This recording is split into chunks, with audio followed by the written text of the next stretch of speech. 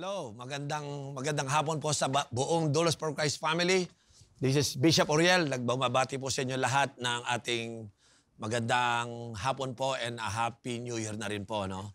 I believe that this afternoon, uh, the Lord will anoint us together to listen to His word and that word will bring life to us. That word bring encouragement and motivation to us and so that we could live pleasing uh, and according to the perfect will of God. So lahat po ng ating mga primary 12, 144, binabati ko po kayo ng ating pleasant good afternoon, especially yung ating mga first-timer. So if you are watching right now dito po sa Dulos TV sa YouTube o sa Facebook, I want you to like the, uh, yung ating uh, live streaming po ngayon. Mag-tag po kayo ng mga friends ninyo, mag-subscribe po kayo sa ating YouTube channel kung hindi pa po kayo nakakapag-subscribe para manonotify po kayo kung meron tayong mga upcoming event or video presentation na para po sa inyong pangangailangan.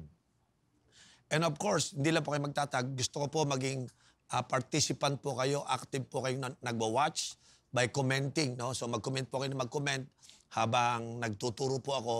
Anything that you learn, anything that expects you si Lord or revelation na kukuha mo, i-post mo kasi po nababasa po ng mga nanonood po ng ating uh, live stream po ngayon. It could help them. Okay?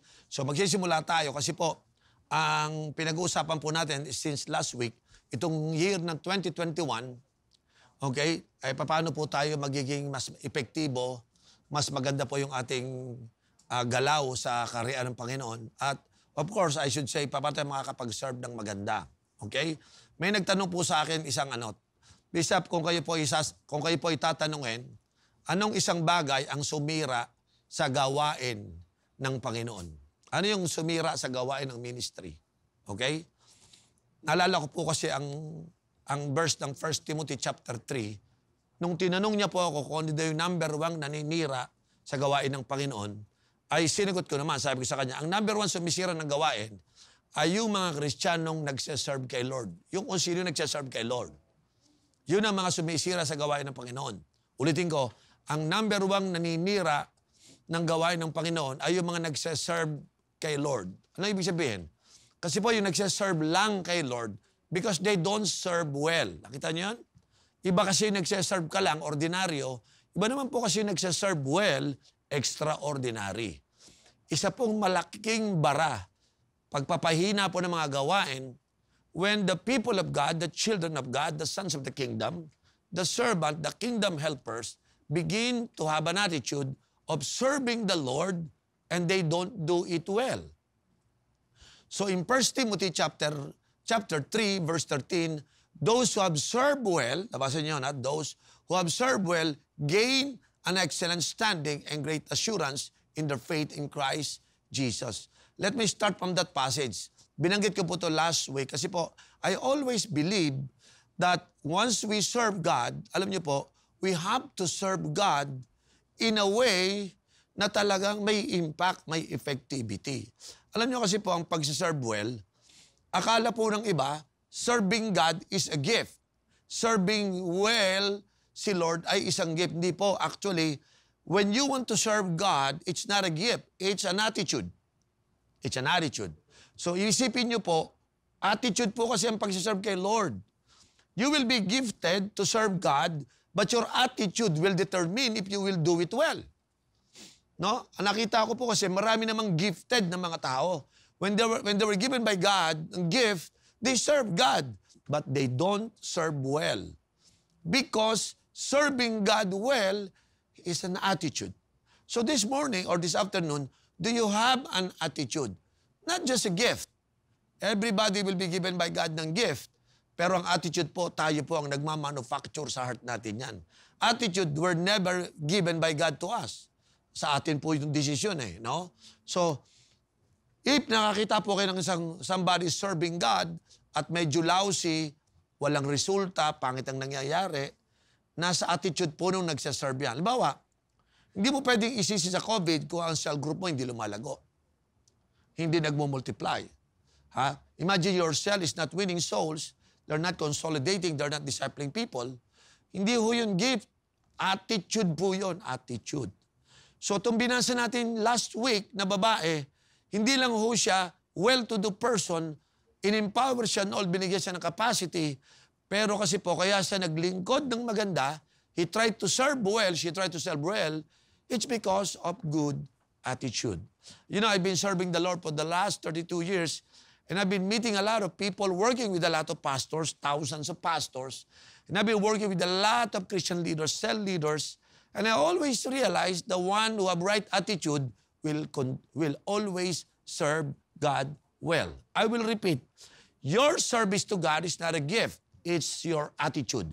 If you want to serve well, then you must have the right attitude. Okay? Here at Dulles for Christ, I'd like to encourage everybody that when you serve God well, okay, don't even think that it is your gift to serve well. No, it's your attitude. Okay? Because when you serve the Lord, it will be generated by the Spirit inside of you, not from the outside. It's from the inside. Okay? In fact, yan po yung una kong introduction muna, no? Magkaroon lahat tayo, starting today, ng tamang attitude sa pag-serve kay Lord. Let us have the right attitude if we want to serve the Lord. Okay? It's an attitude. It's not a gift, it's an attitude. I realize most people thought that the, ser- the service to God is their gift. Kasi nadidinig nila, ang galing niya mag-gifted dyan eh. Pero pa marami pa ako nakitang gifted na mga nagsaserve kay Lord pero walang result, walang fruit walang manifestation ng kanilang ministry. Not because they're not gifted, but because they have wrong attitude. Okay? So today, I will be looking into that. I will be sharing to you ano yung attitude ng, ng Shunammite woman dito para makita nyo po kung paano po tayo magsaserve ng better. So, sa, sa, sa tanghali pong ito, uh, I will be sharing the topic, the life of a kingdom helper. Okay? Because I saw in the life of this woman, the Shunammite, she is a kingdom helper. Okay? I think every believers must be concerned to help the kingdom plan and the kingdom purpose. Okay? The Bible said, let your kingdom come, let your will be done here on earth as it is in heaven. So when the kingdom of God come, okay, as it is in heaven, I need to play a great role for that. May role po talaga ako doon. So I need to help whatever plan, whatever purpose of the kingdom right now in the time of my generation, I need to be there helping to advance the kingdom of God. Okay? So, it, that's the beginning of my uh, introduction. Magkaroon tayo ng attitude na kingdom helpers talaga po tayo, no? Uh, I think we have to deliver the people from watching, observing, to actually involving, no? Uh, this year, pataasin po natin yung level ng ating ministry involvement, yung paglilingkod po natin sa Panginoon, no? Some of you, you just get into our ministry, first time lang kayo siguro, probably second or third time you are watching this live uh, ating uh, Sunday service through live streaming, wag ko kayo makontento na nanonood lang, but I encourage you to start to serve God. Okay? So, in-encourage ko po lahat ng bago magsimula kayo. Kahit sa maliit lang, katulad po nung, sa, nung, ano, nung Shunammite woman, nagsimula siya, hindi naman big ministry ka agad eh. Pakain lang muna. No, nagluluto-luto siya siguro, kaya pinapakain niya yung, yung man of God. Okay lang yun. Yan yung starting point. I think everyone should start. Okay? Kaya nga, but when you start, simulan niyo po na may tamang attitude. Simulan niyo po talaga may attitude. Because yung attitude na yun, yun ang magdadala sa atin patungo sa pangmalakihan at pangmalawakang gawain ng ating Panginoon. Tsaka, uh, serving well, okay? Serving well, start from your attitude. Let me remind you, serving well, start from your attitude. Now, I finally discovered that the day you have an attitude, you have, okay, the potential that you can perform in an excellent way. Okay?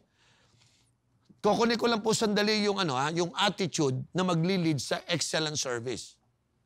You know, one thing that attracts God, the anointing of God for your life, is that when you have the right attitude, and then it leads to excellent service, sigurado anointing bibigay siya ni Lord. Okay? God want to see your attitude that you want to serve God at best, as best as you can. Okay? Kaya po, I believe when we said serving well, serving God well includes attitude that leads to excellent service. So two words that I want you to get is the word, Okay? Attitude plus excellent service. Yan pong dalawa na yan, hindi ka pwedeng mag-serve ng walang tamang attitude at hindi ka rin pwede mag-serve ng wala kang standard. What is the standard? Excellent. Service to God. That's the standard. Okay? What is the spirit? The attitude.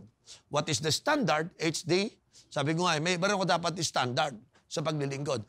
Kasi po, nakita ko po, yung serving well, maniwala ako dyan, may lag, baka lagpas pa sa standard yan. When you serve well, meaning to say, it leads to your standard, it leads with right attitude plus standard. Kaya nga, attitude plus excellent. Excellence is our standard. That's the, that's the way how we serve the Lord. Now, now, ang excellent service po, ang ibig sabihin po kasi niyan, you are willing to serve at your highest quality of service. Okay?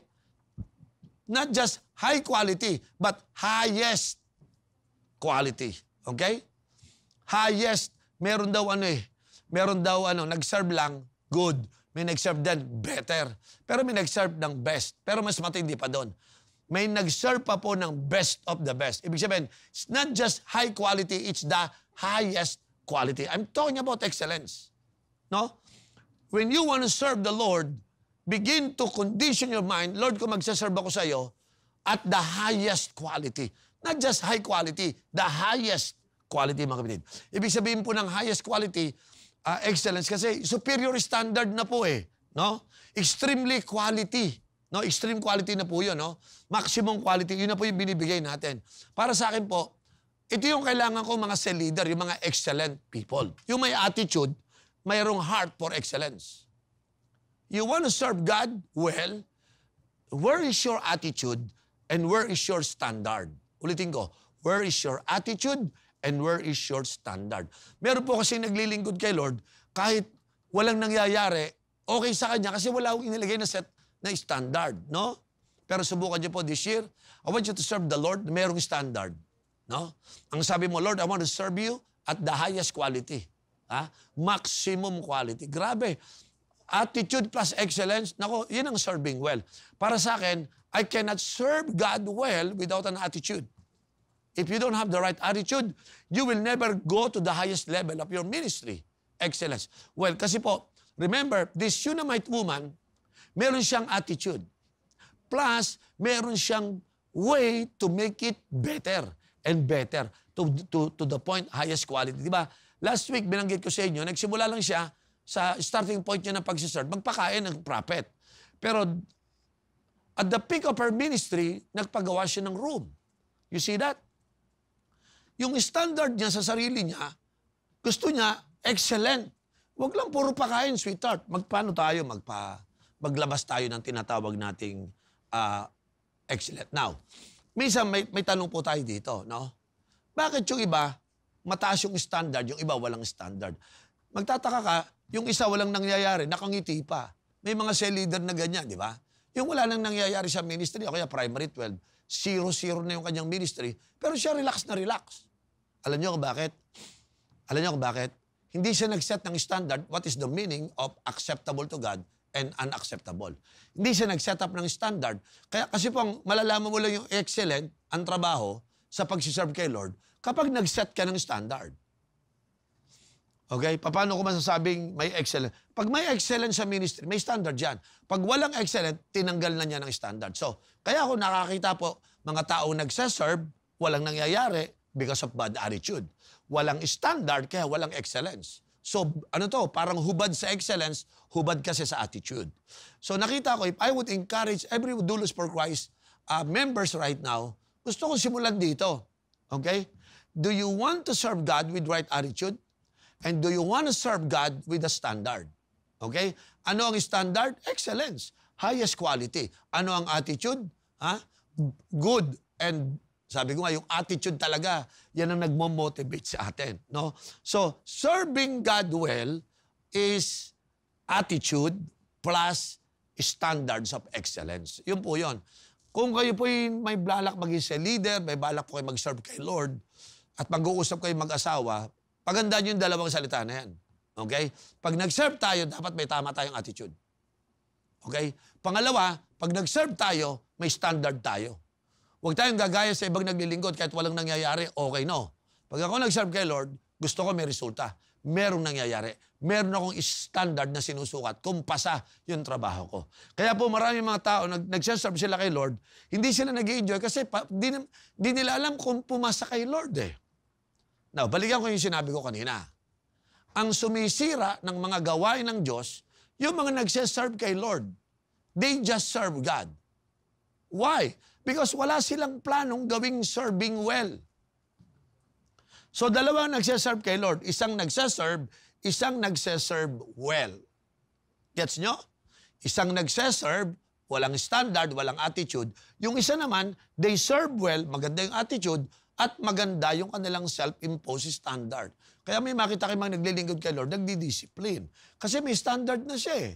Discipline is a self-imposed standard. So maganda resulta ng ministry, paganda ng paganda ang ministry niya, paglilingkod niya. Ganun po tayo mga kapatid. Maglingkod tayo sa Lord ng 2021 na may attitude, may attitude na may standard pa. Okay? Ang attitude natin, excellent lagi. Okay? So diyan ako magsisimula, no? Pag sinabi po natin excellent, ataasan natin yung ating standard, mga kapatid. Ha? Para sa akin, excellent people always makes improvement, not excuses. No? Pag wala kang spirit of excellence, pag wala kang standard, yung bumabagsak ka na pero nagbibigay ka pa ng mga excuses. O ba't di lumalago sa mo 10 months na may COVID? Excuses mo yun eh. No? Sa totoo lang po, kahit po may COVID, pwede pa naman talaga tayo lumago. Ha? Sa totoo lang, pwede pa rin tayo mag-evangelize, pwede pa rin tayo mag-consolidate. We could even win more people to the Lord. Makakapag-disciple pa rin tayo. Makakapag-open pa rin tayo ng mga new cells. You know, uh, kahit may COVID po, we could still love our families, no? We could serve God better sa ating mga companies or sa ating campus. Andiyan pa rin po eh. Kasi po mga excellent people, may magandang attitude. Hindi nila pinipili yung excuses. Okay? Ang pinipili nila, improvement. Listen to that. Okay? I've seen people, hindi nakapokus sa improvement, kaya wala pong tumataas na excellence sa ministry nila. Ang iniisip nila, mas gusto nilang sabihin yung, yung, ano, yung excuses or kaya uh, palusot instead na mag-isip ng improvement. So, itong 2021, ang mastery nyo is how to improve my ministry. Tataasan yung standard para maging excellent ang ministry ko. Or pipiliit mo, sasanayin mo sarili mo sa puro palusot, puro excuses, may COVID, mahirap ang buhay ngayon. So as a result, what happened? Yung attitude mo pumapangit, bumababa, hanggang mamayang konti, yung, yung paglilingko sa Lord ay hindi na nagiging serving well. Okay, so you, begin to operate like you just serve God. Alam niyo po, pag sinabi ko po nagsiserve ka kay Lord, ito po yon. Cell group mo hindi lumalago. Family mo hindi nakaka-asenso. Ha? Pero nagsiserve ka. Tatay ka naman ha. Halimbawa, tatay ka, napapakain mo anak mo. Napapakain mo, pero napapaaral mo. Hindi, kasi you don't work well. You see that? Ha? Nagpapakain ka naman, nagpapaaral ka, pero wala kayong bahay na sarili. Why? Kasi nga, you just serve them.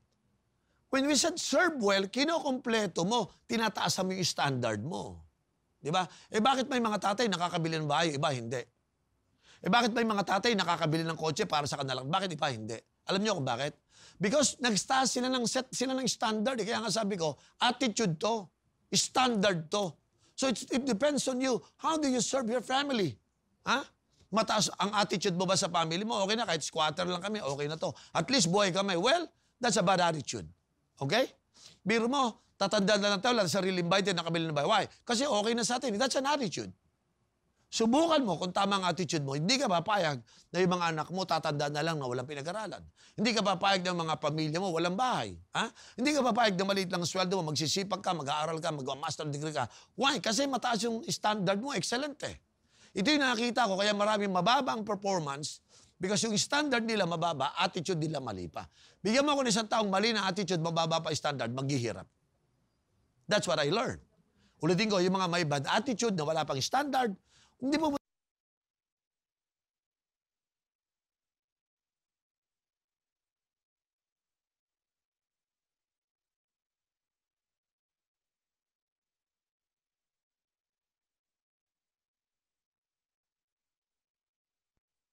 of excuses.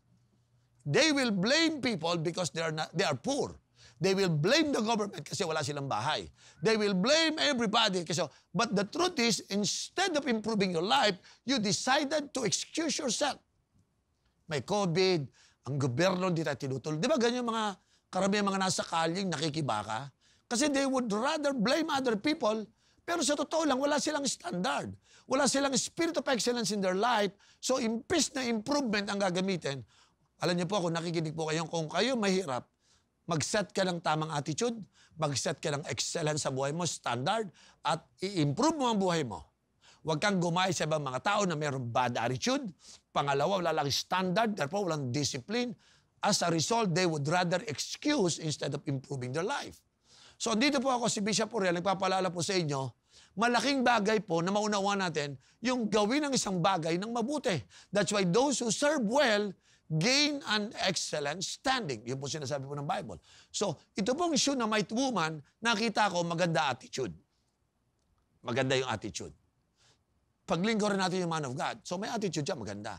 Tapos, yung attitude niya, hindi lang po yun puro pakain. Sabi niya, itayo natin siya ng bahay, ng room. So, from, from, from feeding to building, that's an attitude. No? Tapos, that's an, to, pumunta doon sa higher level. Huwag lang puro pakain. Di ba? Magtayo tayo ng building. Tama? Tapos, hindi siya nag-excuse na wala siyang panggawa. No. Improvement mentality. Kaya nga sabi ko, itong mga word na to, this is so important. So, let's look into this, no?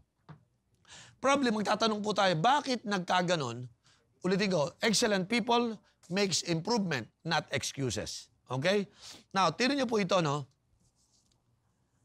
Gusto kong bigyan kayo ng, op, ng ano, ng, ang pagsiserve, well, uh, mali kasi attitude natin. Eh. Okay, itatama ko na kaagad, okay? Kung hindi po kayo nagsiserve sa Panginoon, hindi kayo nagsiserve sa family nyo, hindi kayo nagsiserve sa, sa country nyo, or probably hindi kayo nagsiserve sa inyong office o sa inyong campus, I want you to see this, no? If you fail to serve well, you lose your opportunity. You lose your opportunity. Because based on this story ng Shunammite woman, she started to serve God through the prophet, and then it opens an opportunity for her to receive a miracle of a son. Whoa! Nagsimula yung kanyang pagsiserve na buksan yung opportunity na yung kanyang ginibap na dream na magkaroon ng anak, ay nako. Na, bakit naging mabuti? Bigyan ko lang kayo ng konti ng background ng babaeng ito. Alam niyo yung babaeng Shunammite woman? Ang tawag ko dito, si Miss Tiis Ganda. Alam niyo yung Tiis Ganda? Maganda buhay niya, well-to-do. Kaya lang nagtitiis, walang anak. Kaya tawag sa kanya, Tiis Ganda Beauty. Ito yung ano, yung magandang pangit. Yung magandang pangit. Maganda na sana buhay kasi well-to-do na eh. Kaya lang pangit, walang inaalaga ang bata, walang anak. Kaya may mga tao po talaga ngayon, no? O yung mga tiis ganda ngayon dyan na makinig yung mabuti. Yung mga magandang pangit, ha? Marami kasi mga tao mga magandang pangit. Yung maganda na buhay, may pangit, parang may kulang. Sa kanya, ang magandang pangit sa kanya, maganda buhay niya, may pera, may bahay, maganda, may pera lagi. Successful na tao, well-known sa kanila. Kaya lang, magandang pangit. Yung pangit lang, walang anak. Yun ang pangit. So, magandang pangit. Or sa isang term naman, ginamit ko yung tiis ganda. Okay? Ang ganda ng buhay, nagtitiis naman. Kasi pag matutulog na sila, wala man silang inaalaga ang bata. Siguro nag-alaga na sila ng ano, ng Shih Tzu, ng siguro British Bulldog, yun lang, aso na lang. Di ba may mga pag walang anak? Meron akong, meron akong pinsan eh, wala silang anak, yung poodle na lang inalagaan. Ang ganda, nasa Amerika, pero sabi ko, ang ganda ng buhay, maayos ang buhay, kailan? Tiis ganda.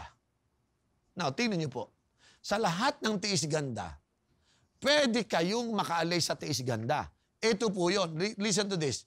Gagamitin ang service to God. Kaya nga eh, you will gain an excellent standing. Yung mga tiis ganda ngayon, yung maganda na, pumangit pa. Diba? Maganda pinag-aralan pero walang trabaho. Di ba tiis ganda yung ganyan? No? Maganda trabaho pero maliit ang sweldo. Mga tiis ganda yan eh. Ha? Ah, maganda, maganda, malaki trabaho, pinag-aralan pero walang boyfriend. Yan, tiis ganda rin po yan, mga ganyan. Uh, ano pa? Yung, uh, yung, yung maganda pinag-aralan, maganda trabaho, ha? Uh, tapos binrek ng ballpen, tawag niya, magandang pangit naman yan. Di ba? May mga ganyan talaga eh. Hindi natin may iwasan to. Pero sa lahat na mayroong magandang pangit at mga tiis ganda beauty, makinig kayo mabuti. Kasi ito na ang opportunity ninyo. Dito gagamitin ni Lord ang pagsaserve well ni Shunammite woman para para tapusin na yung taas ganda experience.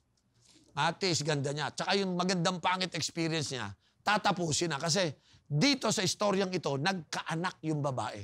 Imagine, the story goes through like kinalimutan niya na yung dream niya magana. Kasi matanda na siya, yung asawa niya matanda na rin eh.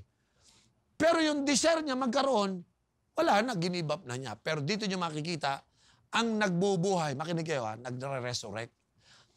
God breathed life on the womb of this woman because of her opportunity to serve God. Tanungin niyo ako, paano nabuksan yung womb niya? Sa kakalingkod kay Lord.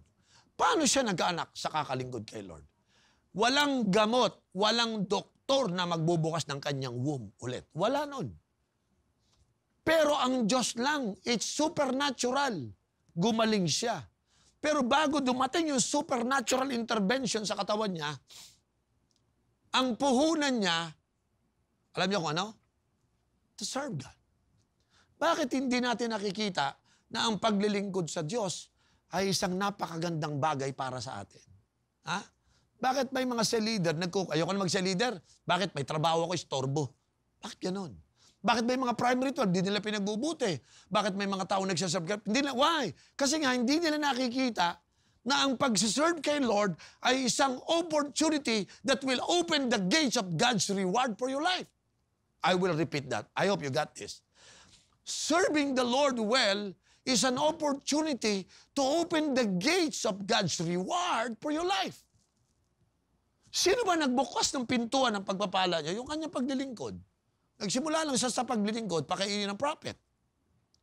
Hanggang sa tayo niya ng, ng room ang prophet na ito.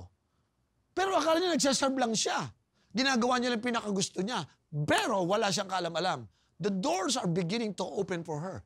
All the dreams that was given up by her and by her husband, God begin breathe life to their dream. And then suddenly, may baby na siya. After a year. Wow. Do you understand what I'm sharing here? Nakikita nyo ba, serving is an opportunity. Yung iba kasi, serving is parusa. Serving is ang hirap. Serving is magsasacrifice. Ganun ang basa. Kaya nga sabi ko sa inyo, your attitude, your attitude, your attitude. Ulitin ko, serving God is not a gift. Serving God is an attitude. It's an attitude. And when God see your attitude, yung compelling reason mo nagsiserve ka sa Kanya, He might as well reward you like this Shunammite woman. Ha? Bilib ako sa Shunammite eh. May, kaya sabi ko, Lord, oo nga no, ako po 32 years na po ako. Ako'y pinagpala din ng Panginoon. Eh ako, pag ako po nag-serve kay Lord, walang atrasan. Pag sinabing, ano, nagpo, nag, naalala ko nung bata ko, pag kami nag-serve doon sa summer nung araw, may pera o wala, tuloy bahala na. Ha, walang atrasan to. Nakikita ni Lord yung attitude eh. Nakita ni Lord yung attitude na yon, nire-reward niya. Nire-reward niya. Alam nyo, alam mo isang lungkot ko, yung mga nagsaserve ngayon kay Lord, yung pag nagsaserve sila, parang nawawalan sila ng kwenta. Parang walang kwenta to. Paano ba itong ginag... Ba't ginaganito ko lang yung parang, parang kinakawawa sila ni Lord kasi nagsaserve sila kay Lord. Wala silang kalam-alam. That attitude is a bad attitude when you serve God at your best, when you serve God well on an excellent manner, it might as well, you can realize that opportunity pa pala yun. No? You see, it's an attitude eh. It's an attitude. Kaya nga sabi ko, Lord, nga, no? Kaya pala yung iba hindi nagsaserve kasi yung attitude nila hindi tama. Kaya pala yung iba pag naglingkod, hindi bigay todo. Kasi yung attitude ang problema. No? Magsaserve lang tayo. Kaya ngayon, walang nabubuksan pong pintuan sa atin. Ha? Eh kasi we are too ordinary, we are too casual, we are too usual in the way we serve God. Bakit yung iba parang ang dami bumubukas ng pinto? Alam nyo, ha? Eh kasi nadinig kasi natin, pag nagpakain ka, may magpapakain din sa'yo. Pag nagbigay ka ng bahay, bibigyan ng bahay. Di ba? Ito hindi. Nagpakain, nagtayo ng bahay, binigay bata. Teka muna, ang bata po mas priceless kaysa sa bahay. Ang bata pong regalo ay mas priceless. You see, when you give something to God, it costs you something like money. Pero you don't even know that God will give you priceless things. Woo! Hallelujah. Priceless, kapatid. Alam mo, makita ko yung mga anak kong naglilingkod sa Diyos, priceless sa akin yan eh. Ha? Walang, priceless yun. Napaka, hindi ko pwedeng bayaran yan, yung paglilingkod ni Daniel. Hindi ko pwedeng, pag, hindi ko pwedeng, ano. Nakita ko naglilingkod si Grace, si Naomi, okay? Si Tracy ngayon, ano, tagagastos lang muna yung bata pa eh. Pero yung tatlo, nagsaserve na yung tatlo, priceless eh. Grabe. Kung pag nakikita ko sila, eh lalakas din gumastos ng bata yan eh. Lalakas mag-request. Pero nung nagsaserve na sila, sabi ko, Lord, sulit. Priceless because it opened the doors of opportunity. Ha? Kaya mga kapatid, ako, naglingkod lang po kasi ako talaga sa dam, buksan yung mga opportunity sa akin. No? Ah, sana makita nyo yung ginawa din sa akin ni Lord. Huwag nyo lang ako makita isang pastor. Kung titingnan nyo po buhay ko, marami pong nabukas na door for my life. You know? Ha? Marami po talaga.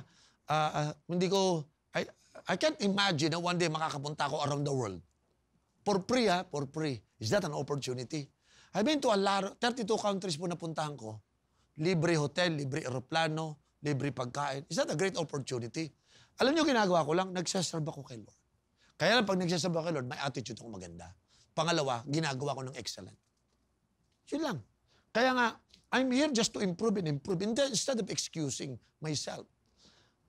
Never, sabi ko, Lord, pag may gawain tayo, ayoko mag-excuse. Ayoko. Pag mali, nagkamali, aaminin ko sa Diyos. Pag walang nangyayari, hindi ako mag-excuse. Kulang ako, Lord. Mali ako, bitin ako, Lord. Pag nabigyan mo pa ako ng isang chance. Ha?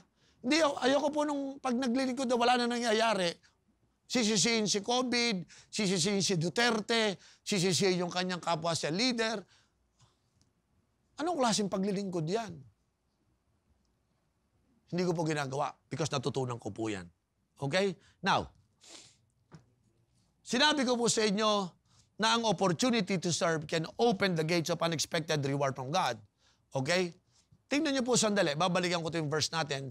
Sa 2 Kings chapter 4, okay, paano ba maging kingdom helpers? Ano ang simula? Okay? Bibigyan ko kayo ng key points ngayon. Okay? Okay. The key point number one, verse 9, babasahin natin ha. Verse 9. 2 Kings chapter 4, verse 9. Ano po sabi po dyan? Okay? She told her husband, I know that this man who open comes our way is a holy man of God. Let me give you the first point that I want to share to you. If you want to serve God well, we need to serve God by revelation. By revelation. That's the first point. Okay? Lahat kayo, taga-dulos, I know you want to serve God. Alam niyo po, may pinagkaiba po sa mga nagsaserve by revelation tsaka yung mga tao nagsaserve lang.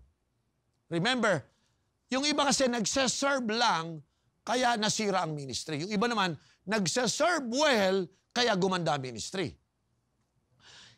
Nagsaserve kayo sa family nyo, pero you don't serve well. Now, bakit to nag-serve well? Everything start from verse 9. Sabi niya, I know that this man who comes our way is a holy man of God. Revelation yon. Ang ibig mo sabihin ng revelation, merong sinabi sa'yo. It's an spiritual experience. No? Nung bata po ako nagpapastor, wala akong sweldo. Titingnan ko po si Odie tsaka si Grace, dalawa yung anak ko, magkasunod eh. Wala pa si Naomi. Pag nakikita ko sila, na, nininervous ako kasi papakainin ko, tapos may asawa pa ako, tatlo yung anak ko. Eh, ang sweldo ko sa, sa dulos, alam nyo gano'ng kalaki? Wala. Yun ang, ganun kalaki, wala. So, paano ako magpapakain ng anak ko tsaka asawa ko? So, maglalaban ngayon yung paglilingkod versus sa needs ko. Maglalaban yan. Pero, may revelation ako. Alam niyo ba bakit ako naging pastor? Share sa inyo, mabilis lang ha. Aktivista ako. Ako po, presidente ng LFS nung bata ako eh. So, nakikita ko yung pangangailangan ng bayan. Yung pala, kaya pala ako nagkakaganon, yung pala ang assignment ko sa Lord. So one day, God spoke to me by revelation, Oriel, I will be using you to change and transform your nation. Sabi ko, Lord, paano yun? Ang bata-bata ko. Oriel, I want you to look back 50 years ago. Kaya kurakot ang buong Pilipinas, lalo na sa government institution. Ang BIR, ha? ang tinatawag nating kasama yung mga LTO, yun know, yung mga custom, ha? yung ating president, vice president, congressman, puro Lord, para lang atang puro lahat. Mukhang yung corruption ba, di man lahat, pero majority. Parang sabi ko, ito yung dahilan kung bakit naghihirap ang Pilipinas eh.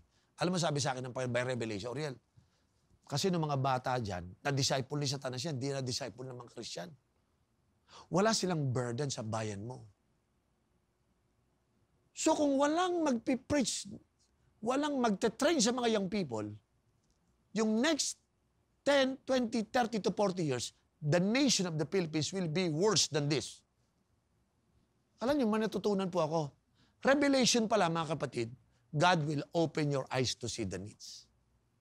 Yung babae, nakita niya yung needs ng man of God. Ang revelation po, kaya tayo nakakapag-serve ng maayos because we see the revelation. Ang revelation of your assignment, yun po yung mahalaga. Unless you receive the revelation of God's assignment in your life, sa inyong life, hindi mo makikita yung needs. So nakita ko po yung needs ng bayan natin. Nako, kumbinsido po ako, kaya pala nagkaganito ba? Kaya pala kurakot sa government. Lord, wala palang nag-disciple. Kaya sabi sa, ito sabi sa akin, Lord, Oriel, I'm giving you an assignment. I want you to preach the gospel sa lahat ng campus. And I want you to preach the gospel with the cause preach the gospel to these young people and prepare them for leadership. Alam niyo po, kaya po nabuo yung campus revolution. Baka hindi niyo lang alam. Ang campus revolution, nagmula po yan sa burden na binigay sa akin ni Lord. Okay? So, nagbigay po, nagsimula ako mag-preach. Diyan po ako sa recto. Ha? Wala akong, wala akong facilities, pero meron akong visions. Meron akong assignment, alam ko. Simula po noong 1988, God prepared my heart for my God-given assignment. Ah, doon ako na, alam mo, nagsimula ako sa ilang estudyante ng FEU. Konti lang po yun. Ha? Konting-konti lang po yun. Pero of course, ngayon po, uh, ah, 2021 na. Meron akong, yung congregation ng Dulos, malaki, 20,000. Ha? Meron akong inaalagaan 7,000 plus churches in the Philippines plus sa ibang sa ibang nations of the world. So, tingnan niyo po itong mabuti. It started na binigyan ako ni Lord ng assignment. Kunin mo ang mga kabataan, i-prepare mo sila sa future, sila mga future nation, ng future leaders ng nation, sila magta-transform ng nation. So I received that assignment. Clear.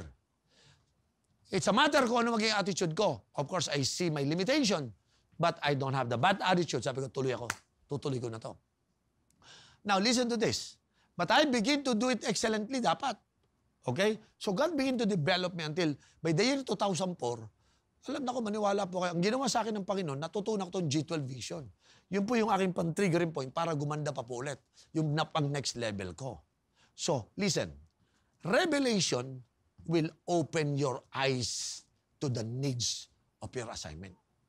Tuwing makakakita po ako ng mga kabataan na burdened, ah, nagkakaroon ng needs. Now, when you see the needs, you will meet the needs.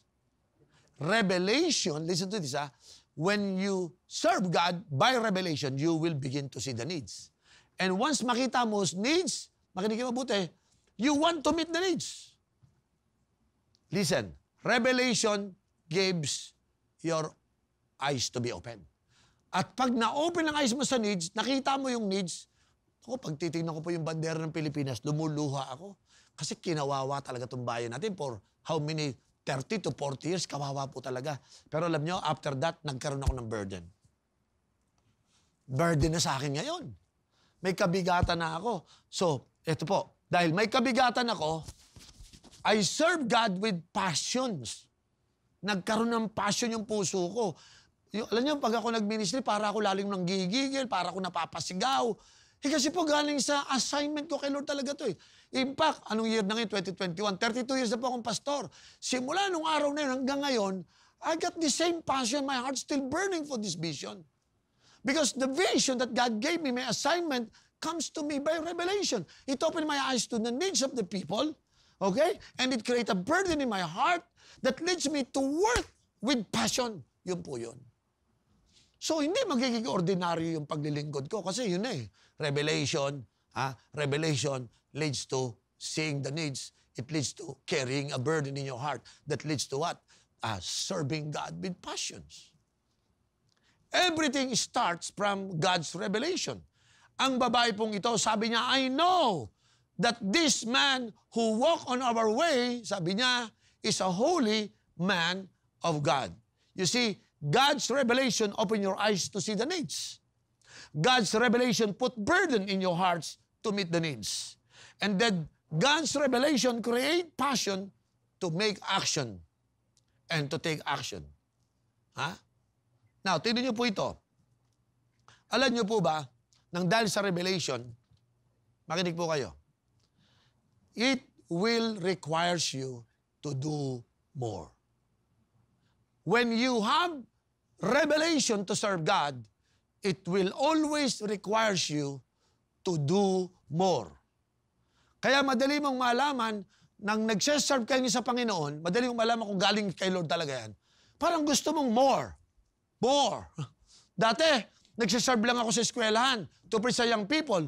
Later on, nag-preach na ako sa mga pastors. Nagtitry na pastor. Why? Kasi yung burden ko sa campus, sa buong G12, na i-transfer ko na I do more. Until nabuo po yung ano, alam nyo ba, nabuo ang campus revolution out of that. Yung, ang campus revolution, hindi po sa akin inutos ng tao yan, inutos sa akin ng Diyos yan. Yung pagtitrain ko ng mga pastors, hindi yung tinu... Lahat po yung galing sa revelation ni Lord sa akin. So nagdagdag na ako ng pagtitrain ng mga pastor. Lahat ng pastor na turuan ko, nakaka-burden sa campus. Kaya kita niyo po, buong G12 Philippines, ang pinakamalakas na ministry dito sa Philippines are young people. Ha? To prove my point, lahat, yung nakaraan po ating campus revolution, we have like 125,000 young people attended that ano, digital ano, conference natin. Ganun, gumano na karami, ha? ganun na kalaki. Why? Kasi nagsimula sa maliit, palaki po ng palaki. Yung pala, yung, nung sineshare ko na yung burden sa mga pastor, nagka-burden din sila. Nagka-burden sila. Ngayon, lahat ng G12 churches po, ang malakas young people. Puro young people po ang naglilingkod. Why? Because dyan po sa unang points natin. Okay? We serve the Lord, okay? We serve the Lord. We need to serve God by revelation. Yan po yung una. Pangalawa, okay? We, you will do more. I tell you, you will do more. I do more because it comes from revelation. Number two, we need to develop a deep commitment and a decision to serve God well. Yan po yung pangalawa. Okay? Every one of you should develop a deep commitment and a decision to serve God well. Okay? If you want to serve God, it will become your lifestyle. Halimbawa po, you serve the Lord easily, yung bang service lang, hindi serving well, magiging lifestyle mo po yan. Okay? That's why sabi ko nga eh, service to God is not a gift, it's an attitude. Serving God well is an attitude, it is not a gift. Okay? It is always a decision and a commitment if you want to serve. Because sabi niya, I know this man. Alam niyo, dahil meron siya revelation, kaya niyang mag-decide, kaya niyang mag-commit. Ganun po yon. Kaya ko mag-decide, kaya ko mag-commit. Nagpastor po ako, wala sweldo. Paano asawa at anak ko? Decision ko, Lord, kung magdudusa kaming pamilya na sa kaka-serve sa'yo, okay lang sa akin. So I make a decision during that time. Ha? Imagine mo, nagpapastor ako ng walang sweldo, wala akong supporter. But I make a decision. And I make a commitment. Kasi if you want to serve God well, hindi pwedeng walang commitment, hindi pwedeng walang decision. Ha? Yung iba po sa inyo, hindi kayo makakapaglingkod kay Lord. Kasi kung mag, mag-serve, gusto nyo mag-serve ng walang commitment eh, gusto nyo mag-serve ng walang decision eh, I think unahin mo, decisionan mo. Ha? Mag-decision ka, mag-commit ka, then you can serve well. Okay? Ito pong babae na to, pag-aralan niyong mabuti. Ha? Si woman, okay, kinausap niyang asawa niya, nag-commit silang dalawa, nag-decide silang dalawa, pakainin natin tong pasto, yung ano, yung man of God na to, hanggang sa dumating, mas tumaas yung decision, mas tayo yung commit. Kasi lagi out next level eh. Hanggang nagpatayo na sila ng kwarto. Okay? Ha? Now, tingnan niyo po yon. Okay? Tingnan niyo po yon. We, you have to decide that it's gonna be your lifestyle. Okay? It's gonna be your attitude. And most of all, it's gonna be your decision and a commitment to God. Number three, puntahan niyo po itong number three. Number three, when we serve God, we have to serve God well and go the second mile. Okay? What is the meaning of second mile? Okay? You serve God. If you want to serve God well, pag-aralan nyo ibig sabihin ng second miler. Second mile means you will give more. you will work more. You will serve more. Yung salitang more, yun po yung second mile. Okay? Not everybody want to serve God more. ha? Eto, nag-serve na siya eh. Napakain niya ng pagkain na eh. Pero more. Grabe. Ulit, pakain ulit. More. Sige, pakain ulit. More. Grabe sabi niya, sweetheart, nakakatuwa naman. Halos twice a week na tayo nagpapakain ng man of God. Next week, more. Nako, mas mabilis balik. Tatlong beses na more. Hanggang later on, nakaka three times a week na siya. Pero, lagi na, parang ito na yung maximum natin. Alam mo, sweetheart, naalala, tingin ko dito, three times a week na tayo maghahanda ng pagkain. Nag-enjoy ka ba? Ang saya-saya ko. Alam niyo, nung isang buwan na siya nagpapakain ng three times a week, two months na siya nagpapakain three, three times a week, mamaya ko sabi nila, ito lang ba kaya natin? Well to do tayo, sweetheart eh. Let's give more. Yun po, nag-second mile na sila.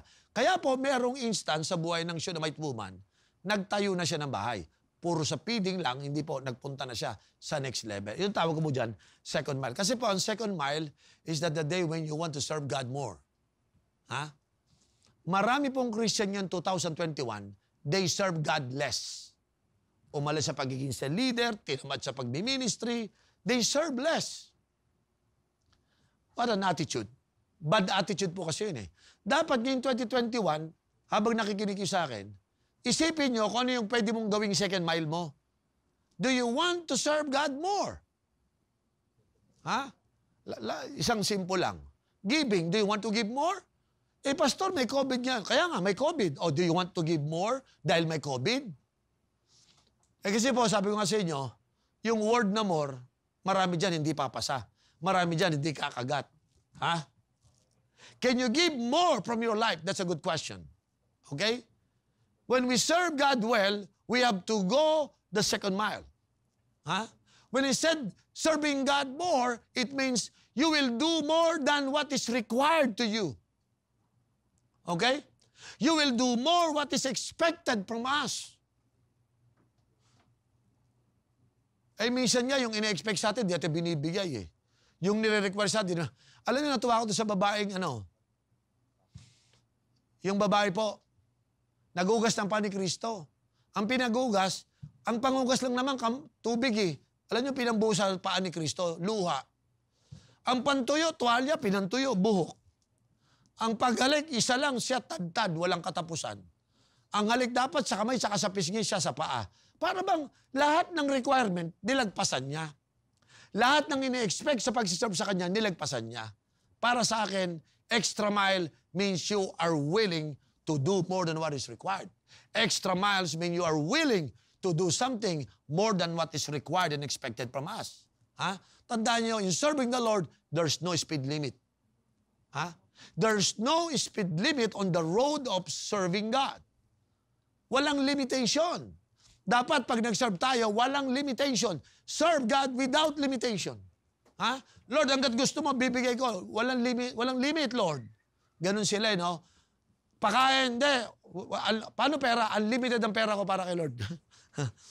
Mahal to, kalahati. Alam nyo, pag, nagpalu, pag nagpakain ka, 1,000 to 2,000. Busog na si Elisha eh. Pero pag nagpatayo ka ng, ano, ng room sa rooftop, mahal yon. Kalahating milyon yon. But this couple want to serve God with unlimited no, attitude.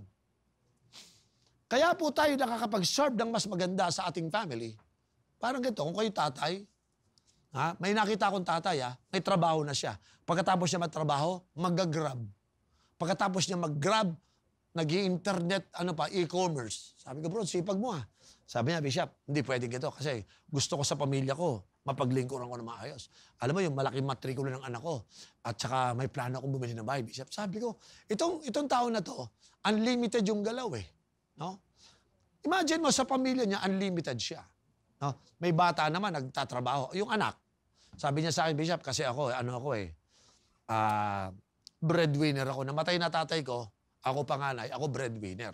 Para ako tatay. Oh, sabi, sabi ko sa kanya, ba't nagtrabaho, ito, nagtatrabaho, nagagrab din, tapos nag internet e-commerce din. Sabi ko, ang galing mo naman. O, kumusta naman kita mo, Bishop? Makakabili na ako ng bahay. Good. Good. Tuloy mo yan, bro. Makakabili ka na. Nakita ko sa kanya, pag siya gumalaw, nag-serve sa family niya, nakatatak sa isip niya, ha? Second mile ako. I will do it more. wala naman nagre-require sa kanya, wala naman, sa, wala, wala naman nag-expect sa kanya ng ganong sobra. No. Hindi mo na kailangang i-require pag nagsaserve ko kay Lord. Hindi na kailangan i-require ka ni Lord. Ha? Hindi na kailangan ma-expect pa sa'yo. No. Kahit wala nag-expect at wala nagre-require, sanay na ako, lifestyle na ako because I got the right attitude. And I want to do it in excellent way. Ha? Ibig sabihin, maximum performance talaga ako. So ito pong pangatlo, puntahan po natin, maging second miler tayo. Okay? Tandaan niyo po, give, we, we have to give more from your life toward God as we serve Him. Okay? Nakakatuwa po itong attitude na to eh. Ang ganda. Number four, puntahan niyo po. Number four, we can serve well if we invite others to serve God and His kingdom.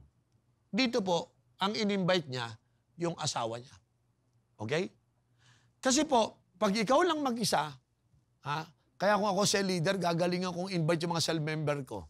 Kasi pag nagtulong-tulong po yan, may mangyayari. Kung kayo po nanay, tatay, mag-usap kayo mag-asawa. Ha? Sama mo yung mga anak ninyo. Ha?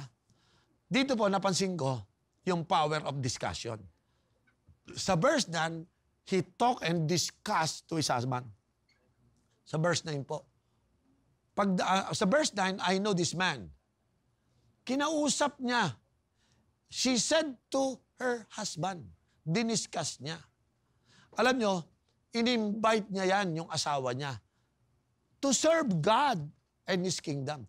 To serve the prophet, the man of God. Sabi niya, sweetheart, man of God to eh. Paglingkuran natin. Walang pinakamagandang gagawin ng isang magulang, yung yayain nyo yung anak nyo sa pagserbisyo, paglingkod sa Diyos. Mga nanay, tatay, pag nakita nyo po mga anak nyo nagseserve sa Panginoon, matuwa kayo. Kung ako sa inyo, wag nyo siyang pigilan, samahan nyo pa. Ha? O kaya, may, may nakita akong nanay, sabi ng anak, Pastor, nakakilala na po nanay ko. Good. O kamusta na nanay mo? Pastor, praise the Lord, nag-life class na. Good. After few months, Pastor, nasa SOL na nanay ko. Good, good, good. Pastor, mag-o-open na siya ng cell. Very good. Ang bilis naman develop ng nanay mo. Alam niyo, after one year, sabi sa akin, Bishop, mas malaki pa po cell group ng nanay ko sa akin. May mga ganyan tayo experience. Why? Because in-invite eh, diniscuss eh, nag-meeting eh. Mga kapatid, mga cell leader, may time na dapat kayo mag-discuss, pag-usapan ninyo as a cell group how to serve God well. Ha? Kayo mga nasa multimedia, mag-usap dapat kayo. Paano pa natin mapapaganda ang paglilingkod sa Diyos? Dapat yung mga worship team, ha? Dapat sa 2021, ngayong ano, dapat mag-usap tayo paano pa natin papagandahin ang paglilingkod. Yung mga full-time workers, dapat nag-uusap kayo. Next year, hindi tayo tatamarin. Hindi lalo tayo magsisipag. Gagawa ng excellent service para kay Lord. Pag-usapan niyo po yan. I-discuss niyo po yan. Yan po ang pinakamaganda. Okay? I want you to hear this. Because if you lack helpers, you will be stranded in your ministry. Mahirap pong mag-serve kay Lord na ikaw mag-isa. So dapat magaling kayo mag-invite, mag-discuss, or else may stop yung ministry mo. Ha? Last and final number five. Okay? Number five. Your opportunity to serve the Lord is a divine setup. Bakit ko po sinabi po ito isang divine setup? Okay? Walang kaalam-alam po yung babae na dahilan sa pagsiserve niya, sinet up pala siya ni Lord. Nag-serve ka, sinet up siya ni Lord. Bibigyan kita ng anak. Set up po yun. Ito yung hindi nakikita, yung sabi ko nga, opportunity. Opportunity. Wala kayong kaalam-alam. Ito, true story po to ha. Nagseserve lang ako kay Lord. Minsan nako-connect po ako sa mga tao, nakakausap ko po iba't ibang mga tao. Tapos nag-o-open ng doors of opportunity. Ito sa kanya, opportunity niya, nakilala niya lang yung man of God, pinakain niya lang, ginawa. Hindi niya alam, opportunity pala yun para bumukas na yung doors, yung matagal na matagal na matagal na niyang prayer na talaga namang hindi naman nasunod kahit anong prayer and fasting hanggang sa kinilimutan na lang niya. Hindi niya alam, noon pa pala nakikinig si Lord sa kanyang prayer na magkaanak. Sila mag-asawa. And then, sineta pa na siya ni Lord. Sige, titingnan ko to. Bibigyan ko siya ng revelation na titingnan ko kung maglilingkod siya sa akin. Eh, naglingkod. Sabi ni Lord, yung setup ko nilagay sa kanya, divine setup tawag po doon. Ayun, kumagat sa setup, nakuha yung opportunity, isang araw, meron na siya. Buksan niyo po yung ano, buksan niyo po yung verse, ah, verse ano, I think verse 11. Verse 12, tingnan niyo po. Basahin natin po yung verse 11 and 12. Tingnan niyo po. Called the Shunammite, so he called her and she stood before him.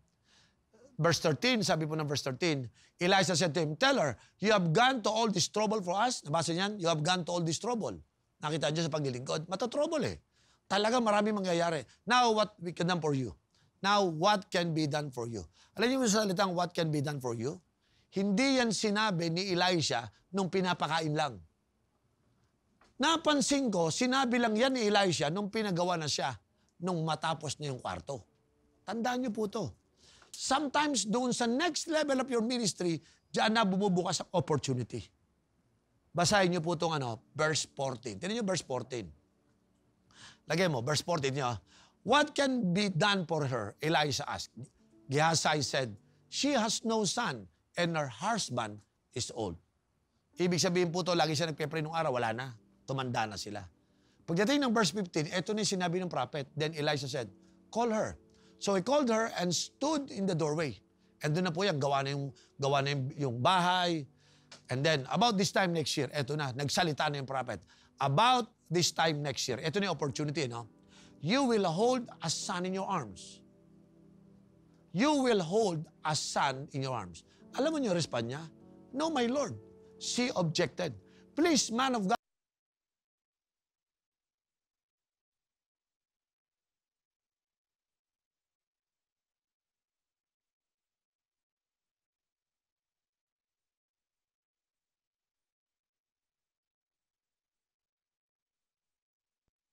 ako, hindi na kami pwede magkaanak. Yun lang po ibig sabihin nun. But don't you know, walang kalam yung babae, nag-serve lang siya, panyakain, nag-next level, ginawa ng kwarto. Wala niyang alam, yung pala nagbukas ng doors of opportunity. That one day she will be rewarded by God ng isang son. So mga kapatid, babalikan ko po. Pag tayo nagsaserve kay Lord, whether you like it or not, okay? Serving God will open the opportunity for you. Kaya nga sabi ko, ito pong pagsaserve kay Lord, divine setup yan para sa'yo. Okay? Divine setup. Ito pong divine setup na ito, para sa akin, mabilis po itong mangyayari sa atin kapag tayo po nagsaserve kay Lord. Okay? Your opportunity to serve is a divine setup. Divine setup. One day, nabigla na lang siya. Yung babae, palingkod-lingkod lang ako. Ginawan ko siya ng bahay. Grabe, priceless yung sinet up sa akin ni Lord. Ngayon, nasa kamay ko na. Everything is priceless. 32 years na po akong pastor. Hindi po beer yung pagmiministry ko. Nahirapan din po ako. But I always grab the opportunity. Anything na pwedeng ipaglingkod sa Diyos, ginawa ko. You know what? Wala po kong alam. Everything was set up by God.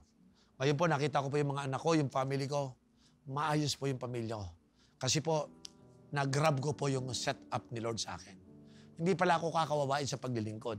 Hindi pala ako magmumukhang timawa sa paglilingkod. No, maganda pala ang kapalit ng paglilingkod sa Diyos. Kaya nga po sabi ko, kung maglilingkod rin lang kayo kay Lord, huwag lang kayo maglingkod. Maglingkod kayong mabuti. Don't just serve God. Serve well. Ha? Because people who destroy church are the people who serve well. Or serve lang. Serve lang. Nagsiserve lang sila eh. Kaya kahit walang nangyayari, okay lang basta nagsiserve. Nauubos ang cell member, okay lang basta nagsiserve. Yung mga tao na yun ang sumira ng gawain. But the people that can advance the kingdom of God are the people who serve well. Sila po yung nagsiserve, mga cell leader, primary 12, na hindi sila pumapayag na walang nangyayari sa ministry nila. They serve well. Ha? Pag sinabi nila, gagawin nila. Pag sinabi nila, bigyan kita ng bahay, binigyan siya ng bahay. Papakainin kita, ginagawa niya. So let us create this atmosphere, mga kapatid. Huwag niyong kakalimutan, lahat po tayo, let us serve well this time. Pagpalain po kayo ng Panginoon at mananalangin po tayo ngayon na lahat po tayo bibigyan ni Lord ng opportunity to serve.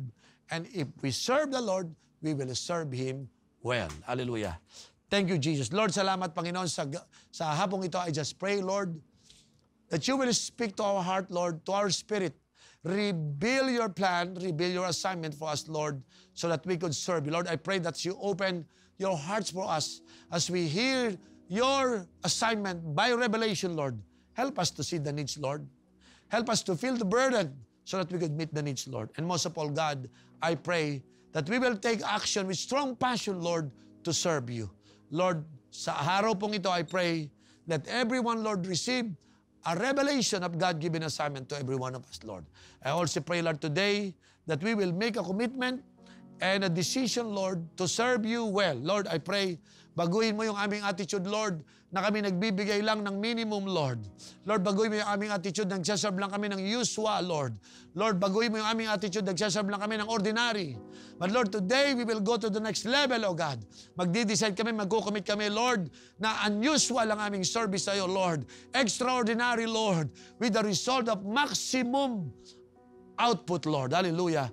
Lord, sa oras pong ito, alisin mo yung takot mo sa, sa puso namin, Lord, that we are not willing to give more, Lord, we will go the second mile. We will give more, Lord. Our life, Lord. We will give more of our life as we serve you, Lord. Sa hapon pong ito, Panginoon, tulungan mo kami, Lord, to multiply our action by sharing, Lord, and discuss our burden, our vision, our dreams to our fellow believers, our fellow kingdom helpers, Lord. Help us to share effectively, communicate it effectively, so that more people will be convinced to serve you, Lord. Hallelujah. Father God, today we expect, and I expect, Lord, people will experience miracle. Hallelujah. Supernatural, Lord.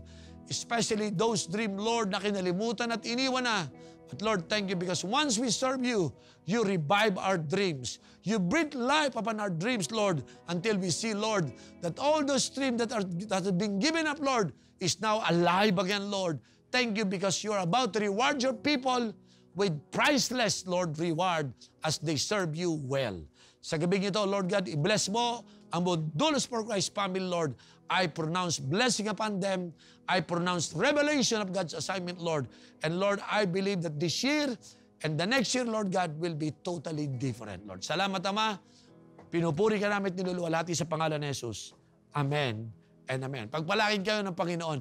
Huwag kayong alas. We will worship the Lord at lahat po ng mga taong nakapag first time po ngayon at pag sinabi mo, Pastor, I want to serve well, paki-comment nyo po, Pastor, I want to serve. Kung first time po kayo na nanood po ngayon, magsisimula po yan sa inyong personal na relasyon sa Diyos. Kung kayo po ay first time or mag, ito po i-print nyo, ah, i-post nyo po sa comment, sabi mo, I want to start to serve God. Okay? Pag dati na po kayo nagsaserve, sabi mo, I want to serve well. Okay? Yung isa, yung isa po, pag first-timer kayo, I want to start to serve God. Pero pag matagal na po kayong Christian, sa leader, primary 12, sulat niyo po, mag-comment kayo, I want to serve God well. So mga kapatid, until next week, itutuloy ko po itong series na ito because next week, ang i-share ko po sa next week, alam niyo kung ano? Yung batang binigay sa kanya na matay. And I will share you some important truth of revelation from that incident. So, mali kapatid, this Bishop Oriel who loves you, pagpalain po kayo ng Panginoon. Sana po ang salita ng Panginoon ay magbigay ng buhay sa bawat isa sa atin na maglingkod tayo ng todo, todo, todo, todo sa ating Panginoon. God bless you. Pagpalain po kayo ng Panginoon. Thank you for watching this video. Don't forget to click the like button and share this with your friends. For more videos like this, make sure to subscribe to the YouTube channel of Our Dearest Church at Doulos for Christ World Harvest.